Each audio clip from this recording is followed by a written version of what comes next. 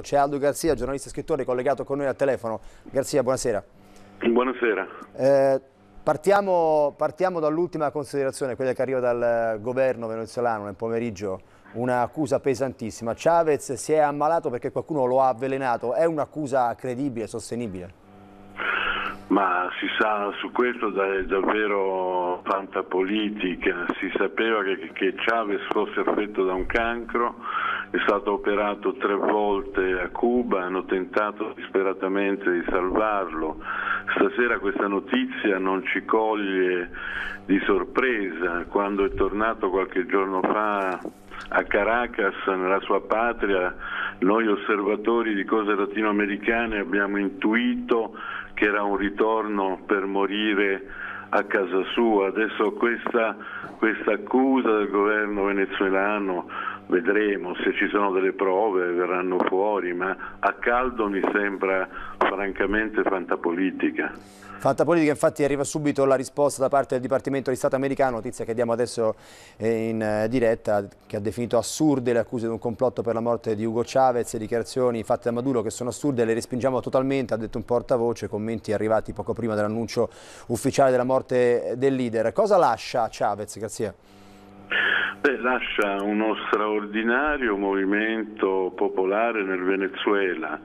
I dati sociali dicono che da quando lui è al governo, bisogna ricordare, è al governo c'è stato democraticamente, vincendo sempre tutte le prove elettorali, c'è stato un miglioramento delle condizioni di vita degli strati più popolari della popolazione, lascia quindi de delle conquiste, lascia una speranza di cambiamento, ha vinto anche le ultime elezioni pochi giorni prima di partire poi per l'ultima operazione contro il cancro a Cuba e lascia anche un movimento indipendentista che si è sviluppato nell'insieme dell'America Latina.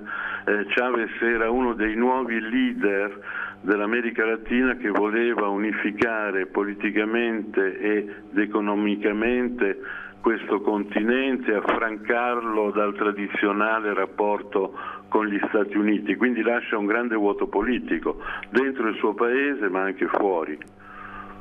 Cosa rimane adesso di quel famoso asse del male, chiamiamolo così, che gli Stati Uniti per anni hanno detto di voler combattere, anche se poi, come ben sappiamo, la maggior parte del petrolio che viene da Venezuela viene comprato proprio dagli USA? Sì, il Venezuela è, credo sia il secondo paese produttore di petrolio da cui gli Stati Uniti prendono risorse. Che cosa, che cosa lascia? Io penso che all'interno del Venezuela ci sarà un'ondata emotiva a, favore del chavismo. Se verranno presto convocate delle elezioni, la mia previsione è che sull'onda emotiva della morte di Chavez ci sarà una vittoria del suo partito socialista alle elezioni. Certo è difficile sostituire un personaggio come lui. Eh, il paese, l'asse del male, Venezuela-Cuba, ma Cuba è una piccola isola che subisce un anacronistico blocco economico da 50 anni.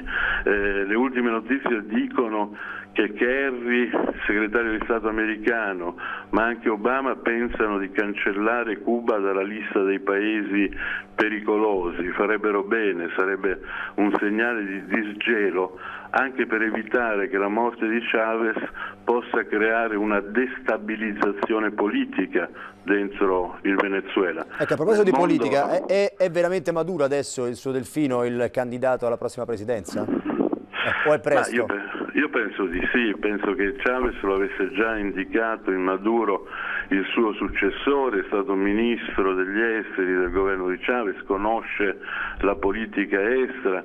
Io mi auguro che nel mondo prevalga sempre il dialogo, il confronto allo scontro e quindi spero che anche la morte di Chavez non provochi una destabilizzazione politica. Ecco, da questo punto di vista Maduro quali posizioni di politica estera ha rispetto a quelle di Chavez? Io credo che ci sarà sicuramente una continuità, un privilegiare il rapporto con Cuba, con la Bolivia, con il Brasile, l'Argentina, con quei paesi progressisti che hanno cambiato la realtà politica dell'America Latina negli ultimi anni. Pensiamo al Brasile di Lula che ha iniziato questo cambiamento, sono, Argentina e Brasile sono paesi che sono afflitti meno dalla crisi rispetto all'Europa, i tassi di crescita di quei paesi vanno avanti bene, penso che Maduro possa eh, conservare un rapporto privilegiato del Venezuela con queste nuove realtà. E mi auguro anche che l'opposizione interna al Venezuela accetti la sfida democratica di nuove elezioni. Nell'area sudamericana questo cambia qualcosa nello scacchiere o proprio perché la linea di Maduro in un certo senso è mh, eh, continua rispetto a quella del presidente Chavez rimane tutto invariato? Ma no, sicuramente ci sarà un contraccolpo.